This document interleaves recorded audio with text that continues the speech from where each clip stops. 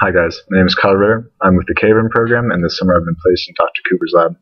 This is about my 10th week working with him, and today I'm giving you all a presentation on fluoxetine, which is Prozac, and the acute effects that it can have on Drosophila and crayfish central nervous systems. Alright, so I'm going to give a brief outline of my presentation today. First, we'll start, start with an introduction where I go over what fluoxetine is, uh, side effects it can have, and some brief important facts about it. Also, we'll be discussing the serotonergic system in a little bit more depth. Then I'm going to have kind of a hodgepodge methods and results section where I go over the experiments that we did, what results we gleaned from them, and what we can uh, kind of extrapolate from those results. Uh, then uh, a quick discussion at the end where I summarize all of our major findings in the study and what we can take from them as well. So, first, the research goal of this project was to determine the mechanisms and the acute effects of high doses of fluoxetine on the central nervous system of crayfish and Drosophila. And then we can look at what we found and by extension extrapolate these findings into humans. Uh, then uh, a quick discussion at the end where I summarize all of our major findings in the study and what we can take from them as well. So, first, the research goal of this project was to determine the mechanisms and the acute effects of high doses of fluoxetine on the central nervous system of crayfish and Drosophila and then we can look at what we found and by extension extrapolate these findings into humans. Alright, so how did this project develop? Well, one of Dr. Cooper's grad students, Zana Majeed, was looking at um, the serotonergic system and using neuromodulators on that system to try and change the behavior and sensory output of Drosophila. So what he found was that there was an odd reaction with an exogenous application of Prozac to the Drosophila central nervous system, specifically the NMJs or neuromuscular junction sites. This is weird because normally, um, when ingested, uh, um, Prozac takes several weeks, two to three ish, for uh, humans to see the therapeutic effects of the drug.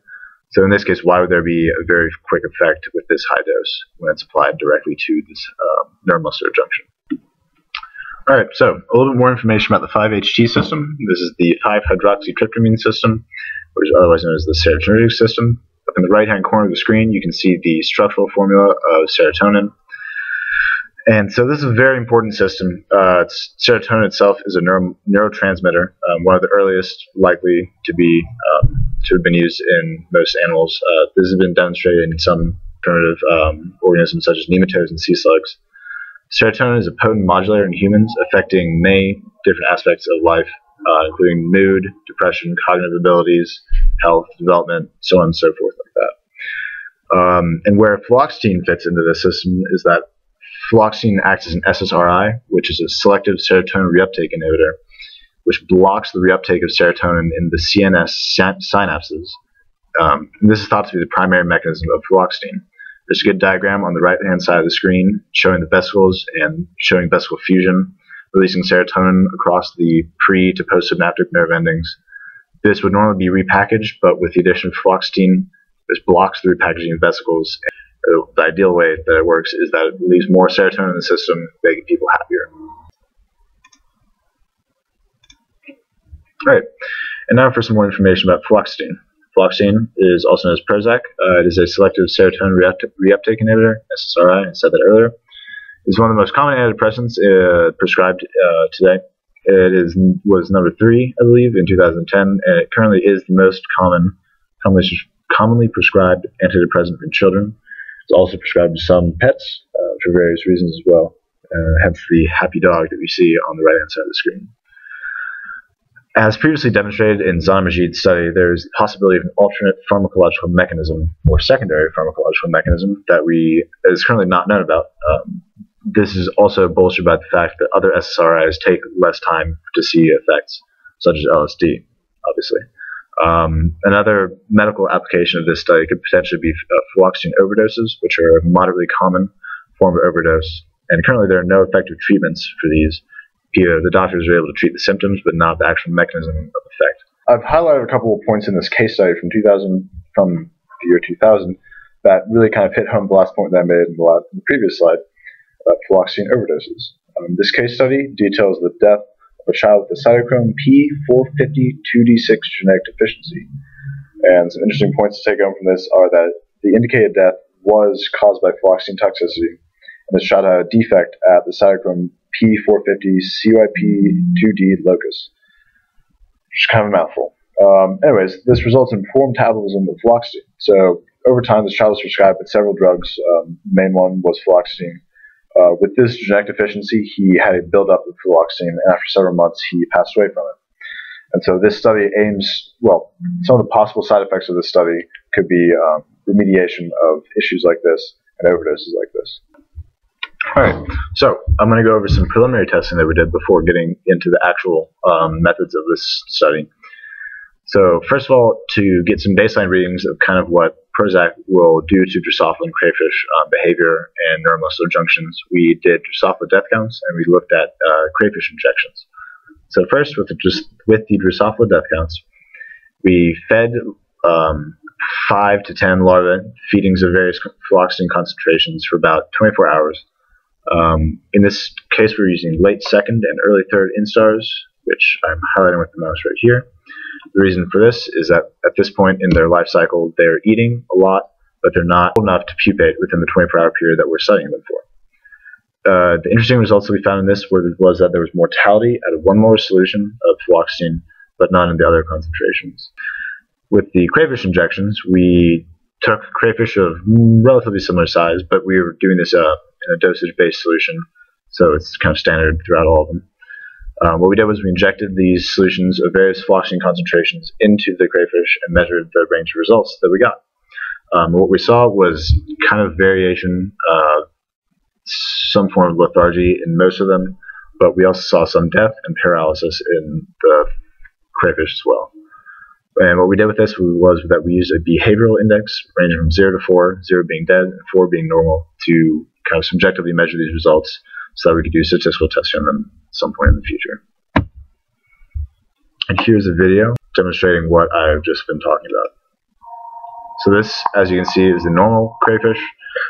It's flipped on its back, but it's still fairly lively, uh, moving around. Its legs are moving, and it's trying to grab and pinch pinch the um, the wooden dowel that John or myself are playing, poking at it with.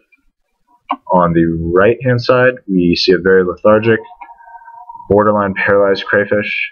If you look closer, you can see its legs are trying to move. It grabs onto the dowel for a second here, but it does not have the ability to completely right itself. Um, in a second here, we're going to start tapping on its tail, which should in, elicit a tail flip, but it doesn't. And so this is just a kind of good example of what we're talking about when we say a 1 or a 2 in this case. All right, so here's a graph kind of depicting in a better fashion what I was just talking about. Um, on the left-hand side of the graph, you can see the behavioral index uh, ranging from 0 to 4. And at the bottom is the time post-injection ranging from initial, which would be 0, to 15 minutes, 30 minutes, 45, 1 hour, 1 hour and 30, 2 hours, and then 24-hour time periods, um, at which point we measured the um, activity of each crayfish. Um, so each individual line represents a different crayfish, um, with the exception of the black line at the top. Technically, it, it is five crayfish at the top, but they're all overlapped because they're normal. Those constitute the sham injections that we did, which was just saline. The other injections were at various concentrations, excuse me, not various concentrations, but we're at 2 millimolar concentration.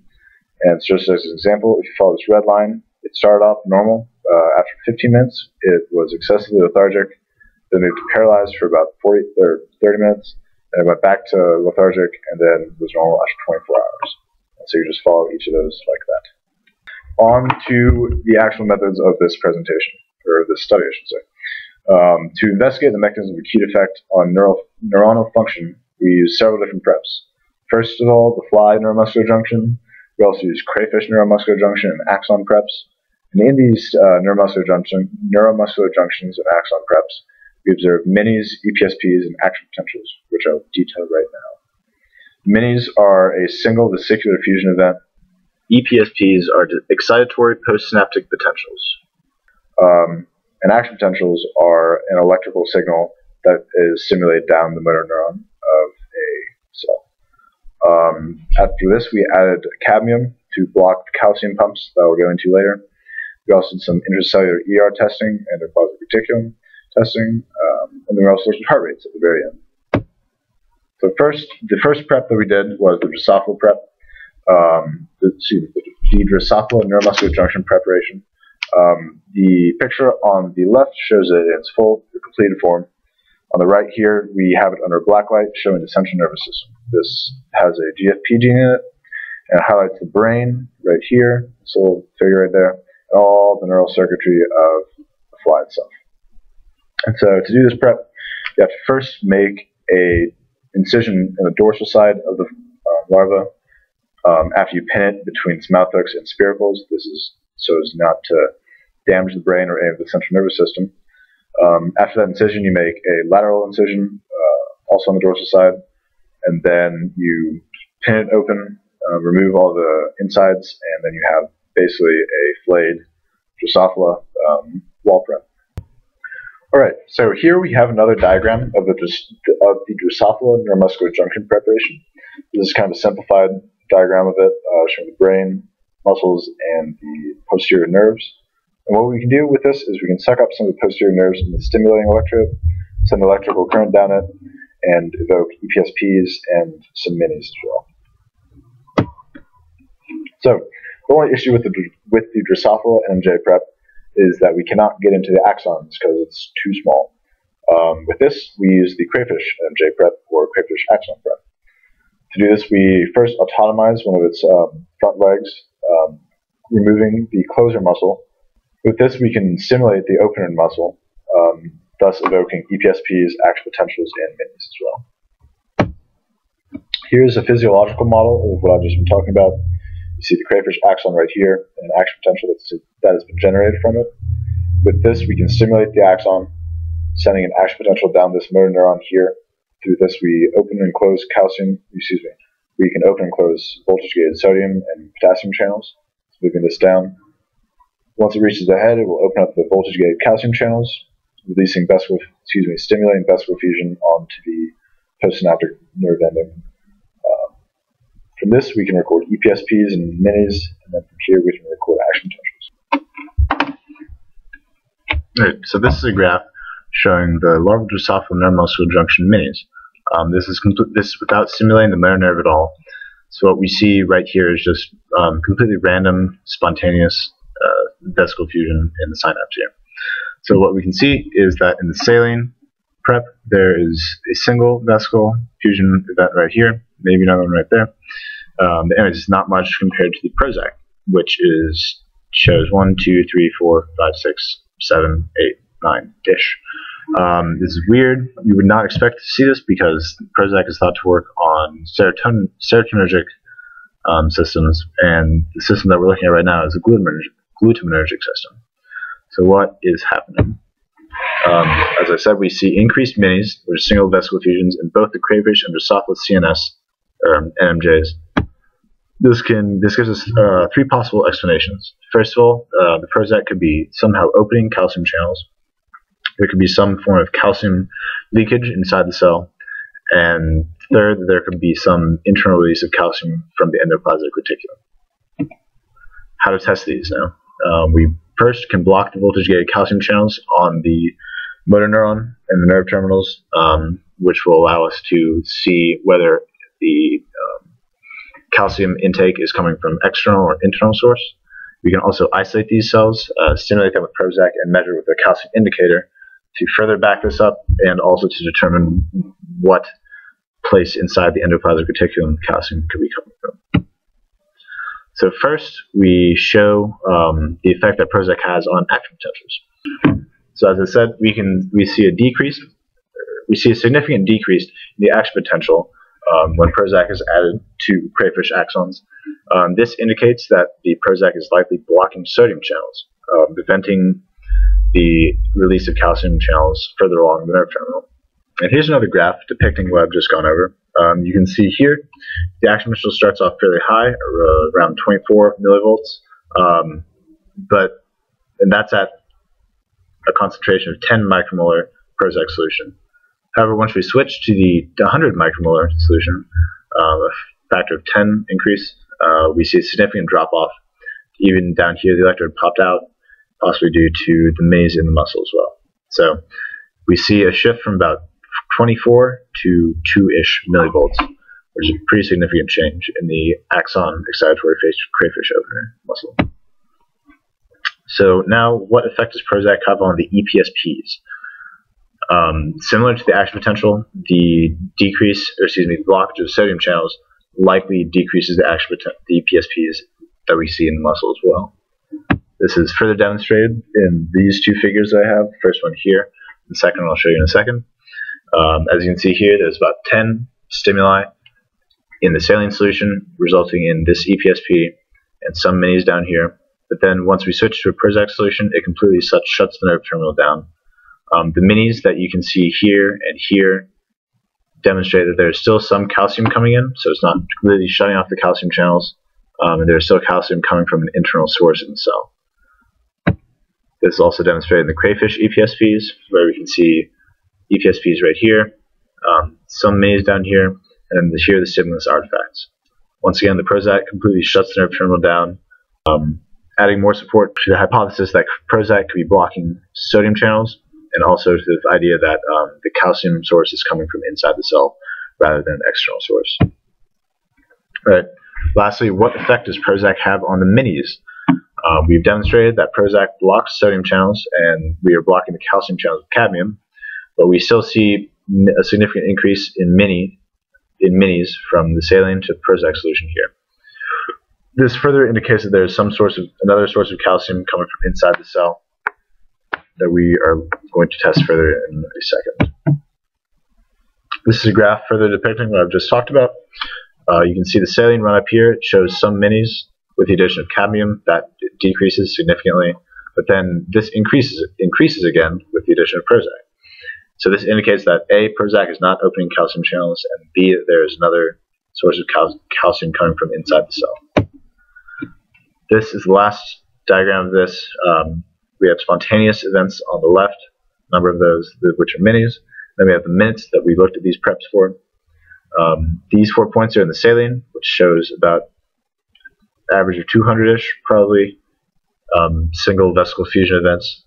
And then the four in the middle show with cadmium, there's a pretty significant decrease, then a pretty significant increase with the cadmium plus Prozac solution. Uh, this might not be 100% accurate, but because it's hard to measure all the vesicle fusion events, there could be multiple vesicle fusion events in this case, and there's a lot of them. As you can see, there's 800 up here. But it's just a good diagram showing you that there's a significant dif difference between the cadmium and the cadmium Prozac solutions. So what is happening? At this point in time, we have two essential hypotheses, both kind of circulating around the endoplasmic reticulum. We have already blocked these calcium channels down here, but we're still seeing vesicle fusion, um, meaning there is some form of calcium still inside the cell. So where could that be coming from? The main idea is that it's coming from the endoplasmic reticulum. There's two possible methods that could be um, that excuse me. There's two possible mechanisms that Prozac could be affecting this by.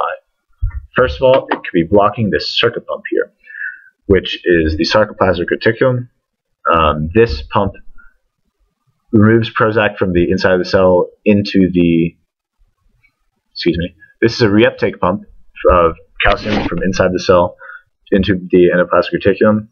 Over time, this ryanodine receptor right here um, leaks out calcium, and this will take it back into this, the endoplasmic reticulum. The other idea is that the Prozac could be um, excuse me. So the idea with this is that Prozac will block this, which will cause a buildup of calcium on the outside and cause vesicle fusion. The other idea is that Prozac could somehow be um, enhancing this ryanodine pump and or opening it and allowing for more calcium to leak out of it at any given time. This would also result in an increase in calcium concentration outside of the endoplasmic reticulum, resulting in vesicle fusion. So, to test this, we contacted Dr. Eugen Brailoiu at Temple University in Pennsylvania. Um, what he he works on mice central nervous systems and their isolated neurons from the ambiguus and accumbens portions of the brain. Um, what he did to help us out was he placed these cells in a bath completely devoid of calcium, then stimulated this with Prozac and measured with a calcium indicator. This was initially uh, to test whether it was coming from internally or externally, which backed up our idea that it was coming from an internal source. He then used a thapsigargin. He, excuse me. He then used thapsigargin, which is a blocker of SERCA, um, allowed the cell to release all of its calcium, um, meaning there's no calcium left in the endoplasmic reticulum. From here, he placed Prozac on the endoplasmic reticulum. Oop, didn't to do that. He placed Prozac on the endoplasmic reticulum and measured it again, and still saw an increase, ideally, and still saw an increase in the um, calcium concentration. This indicates that it is like that Prozac is likely stimulating the ryanodine receptor rather than blocking the SERCA receptor. Alright, so at this point in our study, we wanted to, to figure out what effect Prozac could possibly have on other types of tissue. Uh, one of the other tissues that we're working with primarily in the Cooper lab is heart tissue, or myocardium. Um, so we decided to add this to some of the heart preps that we've done, um, and we found that concentrations of above 10 micromolar stop the heart completely in relaxation, which is kind of odd because you'd think that from these myosin thick filaments it would stop it in a contracted position. Um, at lower concentrations, we show no clear effect, and the hypothesis mechanism for this is that Prozac could also be blocking the calcium channels um, because there are no voltage gated sodium channels in the Drosophila heart. So this is another graph depicting what I've just talked about. These show a change from initial to the Prozac solution. So this should be in the initial, then Prozac, initial Prozac, initial Prozac, initial Prozac. Um, the bottom here shows a percent change. So as you can see in the 100 and 10 micromolar solutions, there was a 100% change in all of them. They just shut down completely. In the 1 micromolar solution, the effect is less pronounced. We still see some stoppage of the heart. Um, however, it's hard to discern whether that's significant or not because of the error bar here. Um, and then in the 100 nanomolar, it's there's no clear no clear trend. So the discussion that we have here um, at high levels of Prozac, uh, 100 micromolars or greater, uh, we can block action potential in crayfish axons, increase spontaneous synaptic vesicle fusion or minis at, in the NMJs, and completely shut down the EPSPs of crayfish and Drosophila. We've also shown that it's possible to paralyze crayfish for a short time and solar activity at 2 millimolar solutions, injections, I should say. There's also been fatality in Drosophila feedings, and we are also we've also shown that Prozac is able to stop Drosophila hearts at concentrations greater than 10 micromolars, and that there's less of, less of an effect at concentrations lower than that. So some future directions that we can take this study in, we look at the P450 2D6 gene that I briefly briefly went over in the case study prior to this, um, or we could find a similar gene in Drosophila that shows a deficiency in processing excess fluoxetine. See what effect the addition of fluoxetine would have to those flies. We could also use a heat-sensitive SERCA knockdown line. This would be another approach, sort of, to looking at the um, endoplasmic reticulum and whether it was the SERCA pump or the ryanodine receptor which of those was um, either blocking or dumping out calcium. This would be a more genetic approach to it and give us more data to back that up with. We could also look at crayfish heart rates um, in, in, addition to the Drosophila heart rates. Also, we have a publication progress. Uh, it's, it's how the acute actions of fluoxetine Prozac on neuronal and cardiac function. Here's my acknowledgments, references. So, thank you guys for listening to my presentation.